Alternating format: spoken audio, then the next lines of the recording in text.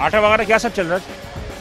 आटा सर भी अस्सी रुपये किलो चलता है। बाजरे का या गंदम का? गंदम का भी बाजरे का भी दोनों एक ही दाम है। चलिए जी बाजरा भी खाएँगे बंदे और ये सारी इनके भी अस्सी रुपये तो ये अस्सी रुपये क्यों है? क्या गवर्नमेंट ने रेट तय नहीं किए? गवर्नमेंट तो पे किए हैं लेकिन ये देखें हम लोग आता है गंदम आता ही महँगा है। हम लोग मार्केट से लेते हैं हम गवर्नमेंट से नहीं आता। मार्केट से लेते हैं। ओपन मार्केट से लेते हैं। तो आप गवर्नमेंट से रुजू तो कर सकते हैं।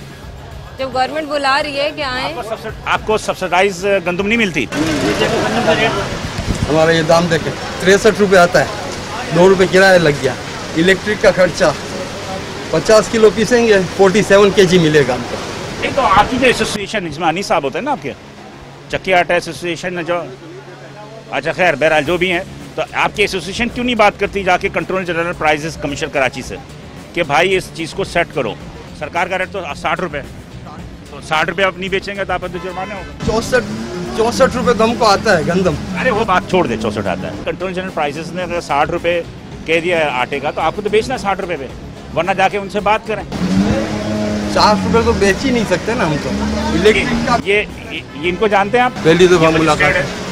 इस इलाके में है आसमा बतूल है। अब ये क्या कहती है हमें नहीं पता। देखिए ना हमारे गंदम ही चौसठ रुपये आ रहा है। दस रुपये पिसा तो लगेगी इलेक्ट्रिक बिल वगैरह। हमने इसीलिए इन सबको इनवाइट किया है दावत दी है। खुद कमिश्नर कराची ने इनको कहा है कि आप आए हमारे से टेबल टॉक करें। मैंने आपको बता दिया है उसमें तमाम जो ग्रॉसरी के और इस? ये वेडनेसडे को हर हफ़्ते तीन बजे। इनके जो रिप्रेजेंटेटिव होते हैं वहाँ जाते हैं मीटिंग होती है प्राइस फिक्सेशन की और उसमें यही चीज़ें डिस्कस होती हैं कि जी इतने में हमें मिलता है फिर उसकी प्रोसेसिंग कॉस्ट होती है फिर हमारी इलेक्ट्रिसिटी है उसके बाद जो है आप इतना मार्जिन रखें कि हमें इतना प्रॉफिट जो है वो हमें बच जाए। तो फिर हमारी भी एक्सरसाइज ख़त्म हो जाएगी ना जो हम डेली आए और ये वायलेशन खत्म हो जाएगी आवाम की भी शिकायत दूर हो जाएगी। शिकायत दूर हो जाएगी। तो उसके लिए अभी आप खुद बता रहे हैं कि जी कुछ इनके जो रिप्रेजेंटेटिव हैं उनको ये जानते ही नहीं। अब ये ना आपकी एसोसिएशन है। एसोसिएशन को की ज़िम्मेदारी है कि वो वहाँ जाए और जाने के बाद उनसे बात करे कि भाई आपके जो असिस्टेंट कमिश्नर है मजिस्ट्रेट है, छापे मार रहे हैं, जुर्माने लग रहे हैं। हमें तो ये रेट पड़ रहा है। यही बात मैंने पोल्ट्री वालों को भी कही थी कि भाई आप जाओ तो सही ना वहाँ पे, वहाँ जाके बात तो करो। लेकिन ये कोई तरीका नहीं होता है कि गवर्नमेंट ने अगर एक रेट अनाउंस कर दिया है तो आपको उस पर बेचना आपका फ़र्ज़ है। गवर्नमेंट जो माल देता है गवर्नमेंट जो माल देता है ना, वो प्रोसेस नहीं होता है, साफ़ नहीं होता है। सर मैं उसकी क्वालिटी की बात नहीं कर रहा। ये सब एक्सपेंस तो होते हैं ना। यहाँ पे सबके पास यही लॉजिक यही है कि जी हम हम लोग अब वो एक सब्ज़ी वाला भी होगा ना वो मंडी से उठा के लाएगा अगर सब्ज़ी। यहाँ पे उसे धो धा के यहाँ पे रखेगा तो वो भी यही बोलेगा कि जी मुझे इतने में मिला है। आपको याद होगा हमने एक दफ़ा पहले भी एक प्रोग्राम किया था। फिर हम गोडाउन में गए थे इवन ठीक है? इवन इनके पास जो वो रसीदें होती हैं वो भी मैन्यूवर होती है। ठीक है? उसमें भी रेट्स वो नहीं लिखे हुए होते जिसमें इनको माल मिलता है। वो भी उसमें ज़्यादा लिखवा के ले आते हैं। तो अगर हम लोग ये एक्सरसाइज नहीं करें जिस तरह से आपने अभी देखा कि वो कह रही हम भी जो जो खरीदने वाला है वो भी गरीब है जो बेचने वाला है वो भी गरीब है। तो फिर हम लोग किस तरह से इनको राह रास्ते कैमरा लगाया के देखे कि ये चिकन की पूरी मार्केट है और madam Asma Batool assistant commissioner Firozabad की यहाँ आमद के बाद दोहराजी की सबसे बड़ी मार्केट है और ये तमाम की तमाम चिकन वाले जो है दुकान बंद करके भाग गए ये सारे के सारे भाग गए और दुकानें बंद हो गई हैं। ये ये सारे भाग गए। इस वक्त मार्केट बंद हो जाती है। इस वक्त मार्केट ये बंद हो जाती है। और मुर्गी वालों की वैसे हड़ताल है। आपको पता है गाड़ियाँ नहीं लग रही हैं हड़ताल कर रहे हैं। अब जिसके बाद शहर में माल- बिक रही है। नहीं नहीं जिसके पास माल पड़ा हुआ है जिसके पास आया शहर में बिक रही है सिर्फ़ यहाँ यहाँ नहीं मिल रहा होगा हड़ताल होगी वरना पूरे मार्केट जिसके पास है बेचने वालों ने अच्छा, बेची है। होते मैं यहीं क्या हिसाब चल रहा है मुर्गी का कुछ मुर्गी का गोश्त चल रहा है तीन सौ रुपये किलो ज़िंदा। और गोश्त चल रहा है चार सौ तीस रुपये चार सौ चालीस रुपये यही बात हो रही है। चले आए। असल मसला ये है ना अब इनको जितने की आएगी वो इतने की बेचेंगे ना।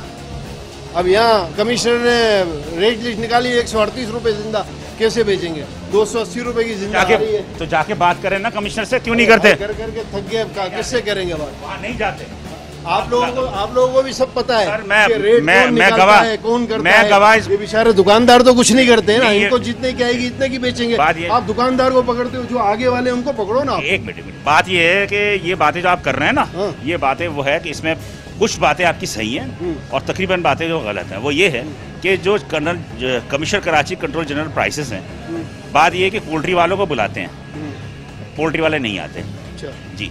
दूसरी तरफ़ मिल्क वाले हैं। मिल्क वाले जो अपनी मर्ज़ी से एक 130 रुपए 120 रुपए बेचना शुरू कर देते हैं। सवाल ही पैदा होता है भाई कि वायलेशन में करेंगे आप तो सख्ती तो होगी ना। या तो तरीक़ेकार ये है कि आप दुकान ही बंद कर दो हड़ताल कर दो। बोलो हम नहीं बेच रहे। भाई हमें हम पे जब सख्ती होगी हम नहीं बेचेंगे।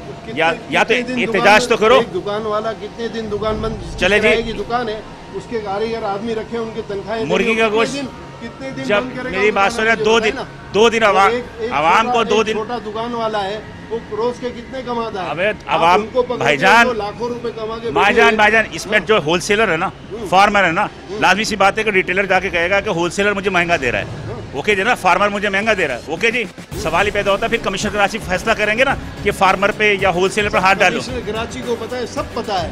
ये तो सिर्फ़ जो है ना ऐसे ही हो रही है जब तक एफ़ आई आर दर्ज नहीं कराएँगे कार्रवाई नहीं होती। अगर इनको जब तक कंप्लेन आप रिपोर्ट दर्ज ना है देखिए इनको कंप्लेन है तो ये करेंगे तो ये ना। कंप्लेन करें ना कि हमें महँगा आ रहा है। ये चाहते हैं कि हमें इसी पे बेचने दिया जाए। आवाम जो है वो ये समझती है कि ये एक सख्ती जो है ये एक आ, मतलब ये कि इसमें वायलेशन है करप्शन हो। सकता है। पाकिस्तान में क्या पूरी दुनिया के अंदर ये है कि जो पब्लिक डीलिंग होती है उसके अंदर बंदा बदनामी होता है। They are the thankless job ये बिल्कुल थैंकलेस जॉब है। आप किसी के हक के लिए काम करें फिर भी बदनाम फिर भी गालियाँ सुने आप। ना करें फिर भी गालियाँ सुने आप। लेकिन बहरहाल हमने तो ये कोशिश की है कि निशानदेही करें। हमारा मकसद नहीं है कि हम खौफ और हरास फैलाएँ या किसी को हम ज़बरदस्ती करें लेकिन हमारा मकसद ये है कि निशानदेही करें। इसलिए कि ये बात तो तय है कि हमारे बाज़ारों में गिरा फरोशी जो रूज पे है और मुनाफा खोर जो है वो सरगर्म है। मैं ये भी नहीं कह रहा कि तमाम के तमाम मुनाफा खोर हैं। इनमें तकरीबन अच्छे लोग भी हैं। बिल्कुल ऐसे ही है। नहीं बहुत सारे लोग हैं जो कि वो अपने जायज़ मुनाफा कमा रहे हैं जिनको खुदा का खौफ भी है है। और वो पब्लिक के साथ भी जो है वो कोऑपरेट करते हैं और वो स्टेट के साथ भी कोऑपरेट करते हैं। लेकिन कुछ ऐसे लोग भी हैं जो सर सिर्फ़ शोर शराबा करते हैं। अब आपने देखा होगा कमिश्नर कराची में कितनी बार इस इन इन लोगों को बुलाया गया है और इन लोगों को हमने जो है वो कंपेल किया है कि आप आएँ आप बैठे हमारे साथ बात करें। कौन आ रहा है? कोई भी नहीं आता मतलब कोई नहीं आ रहा। अच्छा इसमें सबसे अच्छा, बड़ी अब जब हम इन्हें जुर्माना करने जाएँगे फिर ये कहेंगे हमें पीछे से महँगा आ रहा एक चीज़ जो है मैडम कि आवाम जो फेवर में आती है ना जी। आवाम के लिए हम कर रहे हैं ना। और आवाम इनकी फेवर में आती है। बिल्कुल ऐसे ही अभी आपने देख लिया है कि जी इनका आप फाइन कम कर दें। अब उन्हीं को नाराज़गी हो रही थी और दूसरी तरफ़ आपने खातून को देखा कि वो किस तरह से वो मतलब शी वॉज़ जस्ट कराई कि जी मैं इतने पैसे लेकर आई हूँ मैं इस तरह इसमें की, की और, और ये नेचुरली ये एक खातून नहीं ये तकरीबन एक अक्सरियत ऐसी खातून जो कि घर घर का खानादारी चलाते हुए उनको परेशानी होती है। ठीक है मेरा नासिर दोरा जी में मौजूद है और असिस्टेंट कमिश्नर आसमा बतूल सब डिवीज़न फिरोज़ाबाद की असिस्टेंट कमिश्नर हैं और माह रमज़ान मुबारक में। इस वक्त हम मौजूद हैं सिर्फ़ तो किसके लिए? ये आवाम के लिए हैं। आवाम के लिए मौजूद हैं और आवाम के लिए हम काम कर रहे हैं। अब अगर आवाम कुछ भी कहे लेकिन हमारा अपना जो निशानदेही करने का अपने बच्चे जाते हैं और लेके आते हैं और यहाँ बेच देते हैं। आटा किस तरह? आटा है आपके पास? ये दालें? ये, ये चने की दाल किस तरह है? बेटा भरो।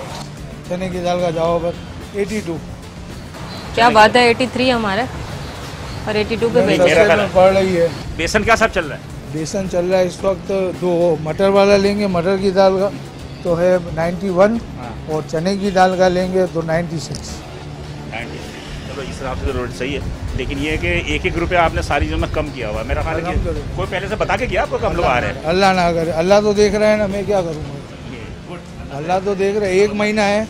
इसमें रिलीफ दे देंगे। बाकी भी ग्यारह महीने देना है ग्यारह महीने आप कमाओ लेकिन एक महीने तो लोगों रिलीफ लेकिन 66 की जो चीनी दे रहे हो आई एम वेरी सरप्राइज़ बिल्कुल बहुत surprising है। कर सकते हैं। हाँ ये। सही है। क्वालिटी बहुत अच्छी है। ये जो हमने सुपर स्टोर पे देखी थी उसकी निस्बत अच्छी क्वालिटी है। चलें जी अल्लाह ताला आपको जजा ये दे खाली ये नहीं है कि आप किसी भी को भी बेच के आप परचेज करवा सकते हैं। देखिए हमारा एक्चुअली डायलेमा ये है कि कोई अगर अच्छा काम कर रहा होता है तो हम उस पर appreciate हम शक करते हैं कि ये कहीं झूठ तो नहीं बोल रहा अगर ये अच्छा काम कर रहे हैं तो हम इन्हें अप्रिशिएट करते हैं ना कि इन्होंने बात की ना कि मैं अल्लाह से डरता हूँ हाँ जी, बस बात खत्म हूँ। कर दी मैं यही कहता हूँ बात यह है कि पुलिस से नहीं डर रहे हैं आप हमसे ना डर रहे मजिस्ट्रेट से ना डर रहे अल्लाह से डर रहे मरने के बाद आपने खबर में जाना वहाँ हिसाब हमने नहीं देना अल्लाह को देना है। बस ये ये कहना है। चलें अल्लाह ये ताला आपको जजा दे। और आप इस प्रैक्टिस को जारी रखें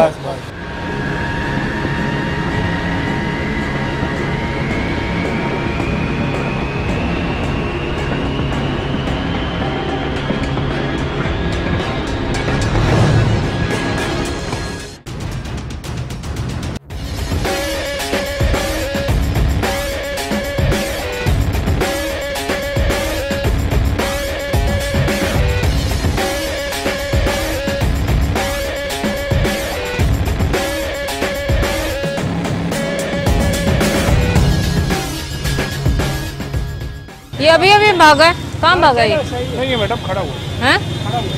ये क्यों भाग क्यों रहा था? क्यों भाग रहे थे बेटा। चादरें वादरें क्यों डाल रहे थे? अभी तो बेचने का टाइम है। नाजिर मैं मौजूद हूँ इस वक्त धोराजी पे और धोराजी में हम सब कम, assistant commissioner Firozabad sub division के जो हैं असमा बतूल उनके हमरा हैं और हम यहाँ देख रहे हैं कि यहाँ पर कुछ थोड़ा सा जो फ्रूट वगैरह और दूसरी नहीं मिला। किसको ढूंढ रहे थे इसका तराजू उठा लो। तराजू उठा लो इसको ये अभी से बाबा आप चलो चल बेटा चल।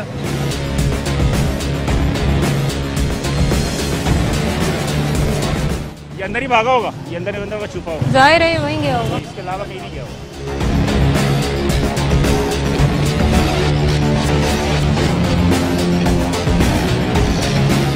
शफकत वो सामने वो दूध वाले को वो पहले ना भाग जाए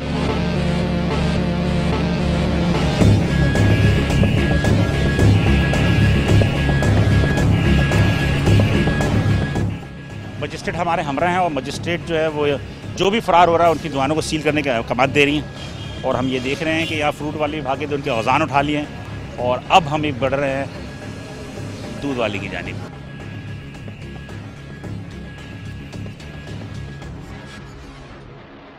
दूध वाला गया? हाँ हाँ उसको सील कर दो।